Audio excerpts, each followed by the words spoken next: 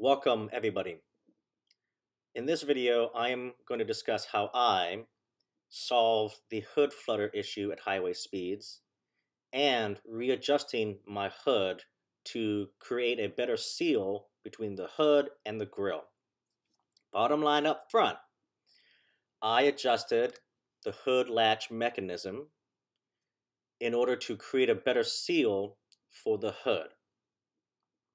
That's how I was able to finally get the hood to evenly sit on the hood on the grille and minimize or solve the hood flutter for me.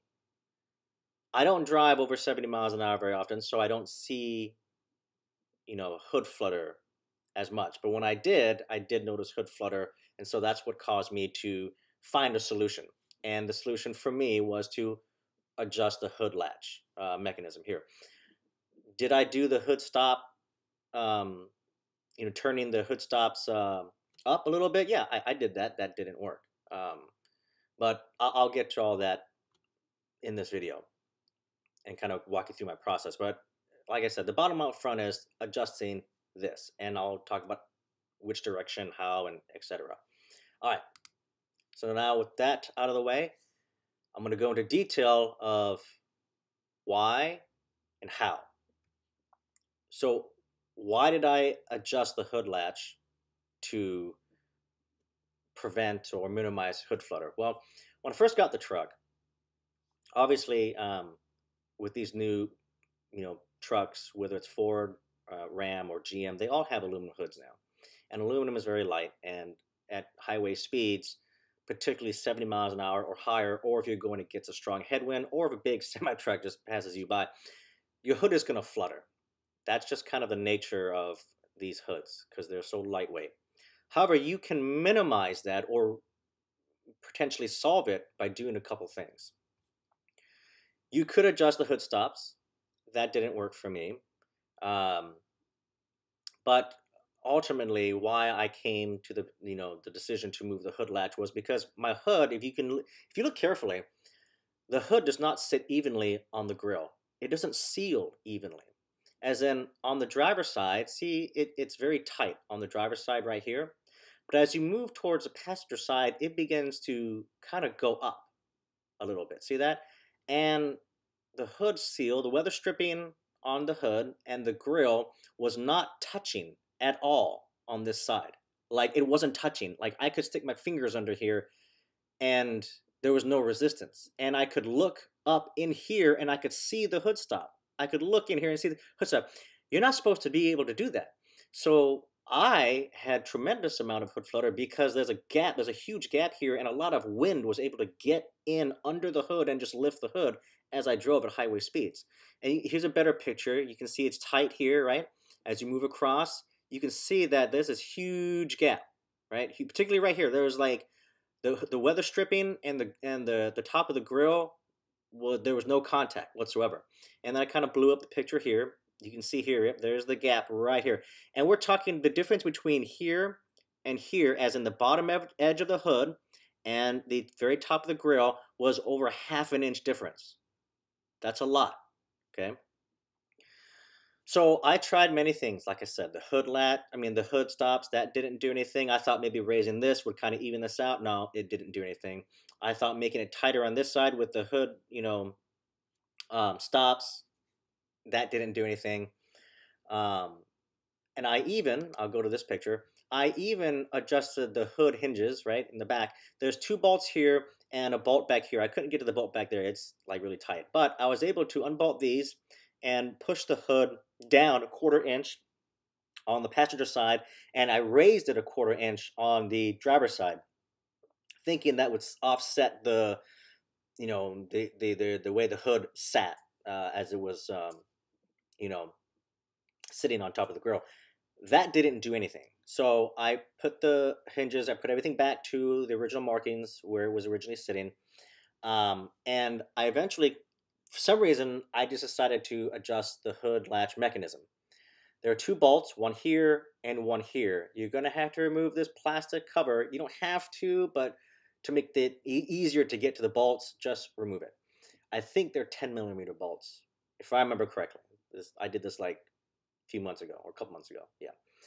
Um, so what I found was one, I could push this hood latch down like another like a, small amount, like maybe like an, eighth of an inch. And let me tell you something: an eighth of an inch makes a huge difference in the overall uh, scheme of things of how the hood will sit. Okay, you can also move it to the passenger side or move it to the driver's side, like maybe like half an inch or so. Like it's a lot. You can move it a lot, actually.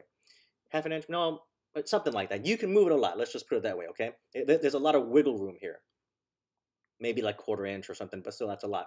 What I found was first I moved it to the passenger side, thinking maybe it just needed more leverage to pull the hood down and something or another, whatever.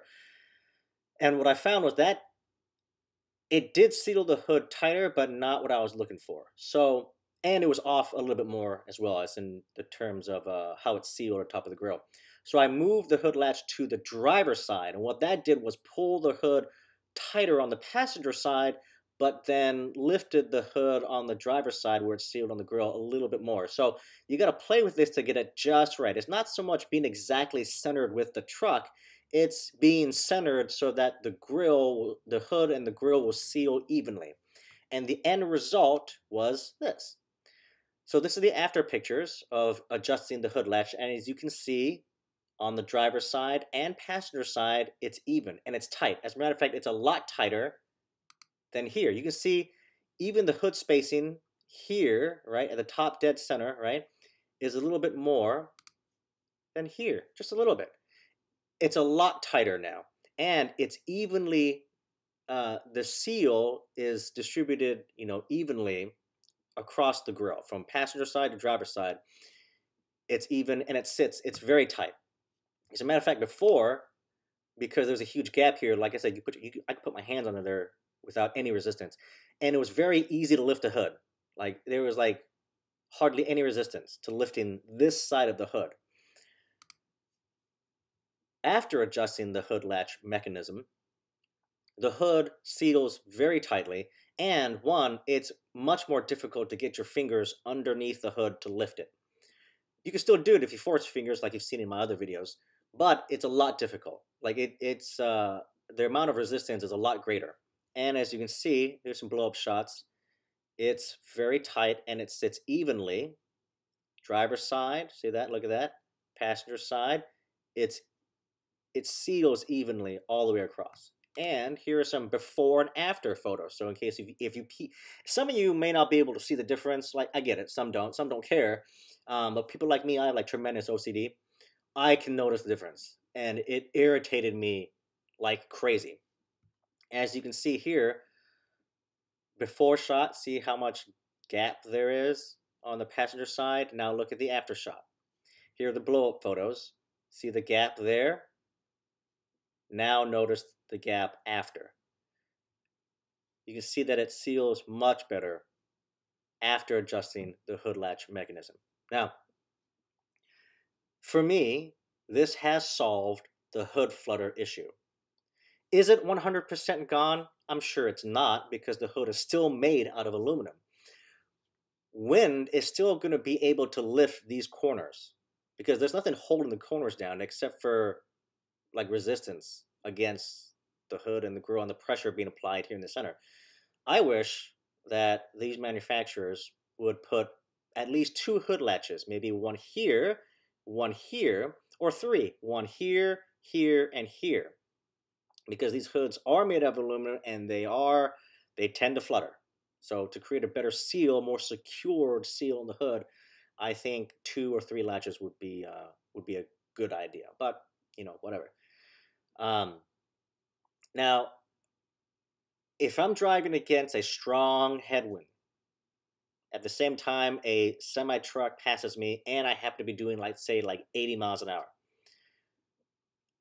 I will most likely still see hood flutter because that's just a lot of forces being applied against this aluminum hood. But for me, my normal driving, you know, at highway speeds for me, 70 miles an hour, sometimes 72, I don't see any hood flutter anymore. Like it's gone, completely gone. As before, like this side of the hood was would flutter like crazy, like paper in the wind. Okay, it drove me bonkers. Um, but now it doesn't do that, and it's the the resistance between the hood and the top of the grill is a lot greater. So the forces being applied helps reduces the wind forces against it. Um, so yeah, so that's how I solved the hood flutter issue, as well as readjusting my hood. The hinges back here did nothing. The hood stops did nothing. It was readjusting that hood latch. Um, but anyways, that's how I did it. If this helps, great. If it doesn't, you know, it's just it's just my opinion, my video, and my results with my truck.